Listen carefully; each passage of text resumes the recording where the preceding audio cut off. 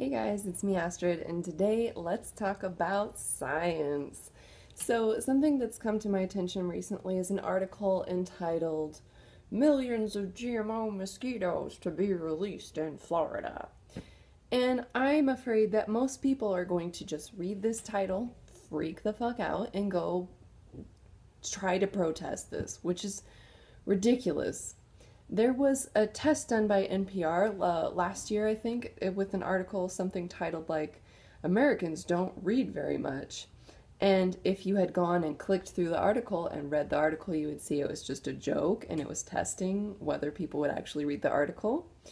And you were the smart one. And if you just wrote a went through the comments, you could see hundreds of people writing angry replies about how Americans are not actually that uh, illiterate. We read books, blah blah blah, and it was the people who didn't actually read the article making that comment, which was ironic. But it just goes to show you that people do not read articles or gain understanding before they make opinions and start being mad about stuff. So the word GMO and being released into the wild is very scary for some people. Now, the, the thing about this is is that if we the purpose of these genetically modified mosquitoes is to eliminate diseases in the population, um, including malaria, dengue fever, and chikungunya. I think the latter two have no vaccination and no cure, and all three have been ravaging human population for a long time. Um, if I'm not mistaken, I've read this around, but I don't think I've ever verified it through journals or anything. But if I'm not mistaken, mosquitoes have been the number one killer of humans throughout history mosquitoes because of the diseases they carry. Even if that's not true, you can still see that they cause really awful damage to human populations affected by them. So, these mosquitoes are designed to remedy that. Um, basically, what they're doing is they're genetically modifying a male mosquito. Male mosquitoes don't even bite you, so you don't have to worry about it biting you. Um, they the male mosquito is basically unaffected. He mates with a female mosquito, and then the gene from the male mosquito turns on and it kills the offspring. So what happens is the mosquito population is reduced 95% or so in a few runs of releasing these male mosquitoes. And in turn, the diseases that mosquitoes carry are not as easily spread to humans because there's fewer mosquitoes to do the spreading fewer humans are infected with these horrible diseases, and so their population gets healthier. It's better for the society. In turn, fewer mosquitoes get the diseases, and eventually this cycle continues until the diseases are eliminated, which is awesome. And the best part is, if you're worried about mosquitoes, the mosquito population is allowed to return to normal once the diseases are out of circulation so to say. So these diseases get taken out of circulation through the minimization of mosquito population because of the genetically modified males. And then people don't have ridiculous amounts of sickness, suffering, and death to deal with because of mosquitoes. It's amazing. And the people who are saying, I don't want to be someone's guinea pig, um, well, first off, they've done successful trials of this in Brazil and I think a couple other countries. And the it, it's been a wonderful success. It's been really great. Um, there's a Radiolab episode I'll include below if you want to listen to it discussing this. If nothing else, it's really interesting, kind of entertaining. I love Radiolab.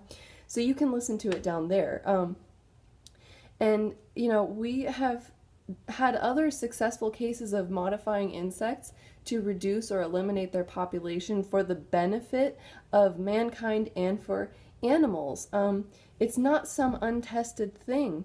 It's not something that's completely dangerous or going to hurt us. It's only going to help us. And these genetically modified mosquitoes are going to be wonderful. And before you, well, let, let me let me read you an excerpt.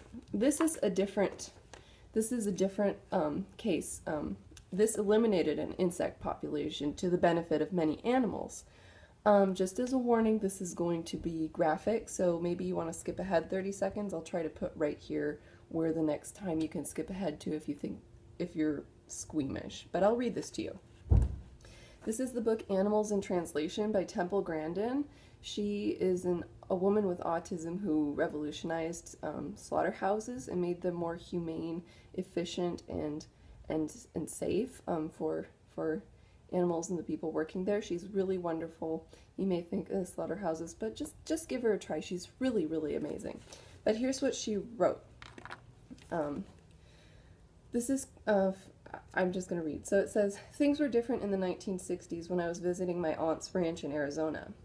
At the time, livestock were being attacked by screwworms all over the west, southwest, and Mexico. Screwworms are the larvae of a fly that lays its eggs in open wounds. If you're squeamish, tune out now. These wounds can be from anything a cut, bite, or a new, even a newborn's navel. Screwworms can attack humans too and like to lay eggs inside the nostril. When the eggs hatch, the maggots come out and eat the animal alive. Other maggots eat dead flesh, but screwworm maggots eat live flesh and they're deadly.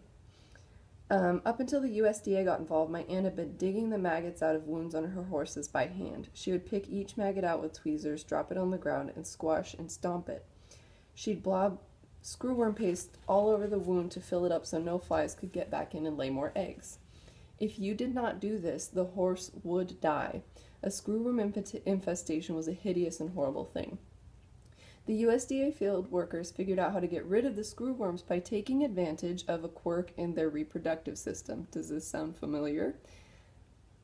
The screwworm's developmental sequence goes from egg to maggot to pupa to fly, and the USDA bred a bunch of screwworms and irradiated the males when they reached the pupa stage, making them sterile.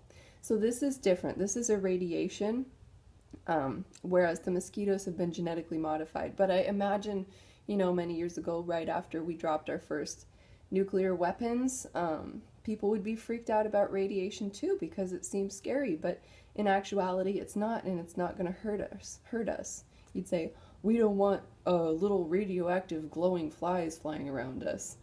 Well, that's not the case. What the case is is that they're eliminating the disease. But I'll continue to read. All right. They took these irradiated pupae out in little paper boxes and dropped the boxes out of airplanes. The flies would come out of the boxes and mate with lots of females, and the females that they'd mated with laid eggs that did not hatch. The program was a huge success. It started in 1959, the United States working with Mexico, and the last case of screwworm infestation was recorded in Texas in 1982. Today, there are no screwworms anywhere in the US or Mexico. I remember those years well. You'd find little boxes all over the ranch, seven or eight of them this summer. The box would say USDA and there would be a little story printed on the side explaining what it was and that it wasn't going to hurt you. This was the original biotechnology and it worked. There are other cases of us tweaking with insects or messing with insects' reproduction to eliminate horrible, horrible consequences caused by or spread by the insects.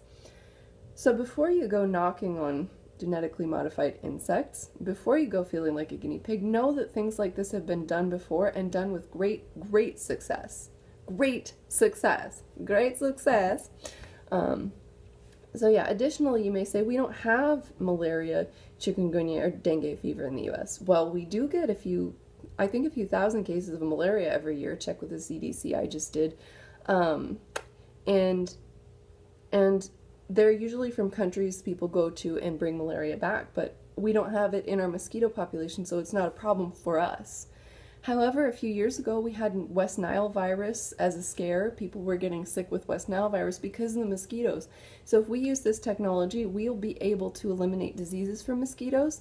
And unlike the screw worms, where the population was eliminated, the mosquitoes are going to be decimated and then allowed to return to their normal numbers without the disease in circulation. It's a beautiful, beautiful technology, and I really hope that people give it a chance, learn about it before we reject it, because it's really, it's really a wonderful thing. Um, I'm really excited about it, and I really hope they do trials in Florida. I hope people don't go sign stupid change.org petitions without understanding any of the science behind it, but you know how people work. Mm. if you think this is bad, you're wrong. Um, but thanks for watching. And um, yeah, I hope I've explained this issue to you. And if you want more explanation, Google it online, listen to the Radiolab episode. It's really great. And yeah, thanks for watching. Bye, guys.